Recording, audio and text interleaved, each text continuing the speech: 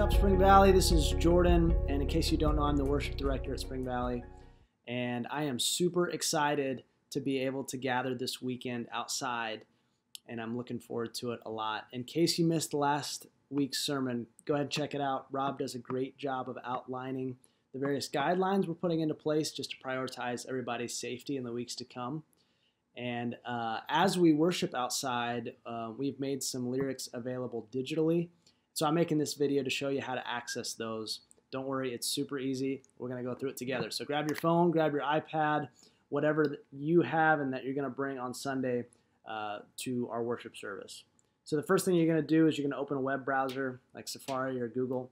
And at the top, you're going to type in springvalleychurch.info. That's our website. Um, and it's going to take you to our home page. Once you get there, go ahead and scroll down. Uh, you're going to see some of our past videos.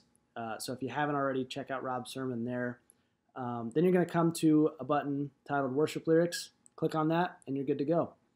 Now, in case you don't want to use data while you're out there, or if you want to just download these ahead of time, that's available to you as well. Click on Downloadable Lyrics. At the top, there's an arrow pointed down.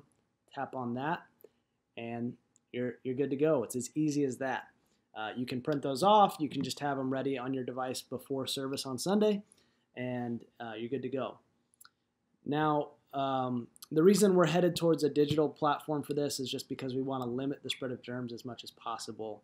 Um, now, in case you're not comfortable using a device for worship, uh, we will have some song sheets printed out, um, but we are limiting the supply just because, again, we want to limit the spread of germs as much as possible. That being said, I'm super excited for this Sunday, looking forward to it, and I can't wait to see you all there.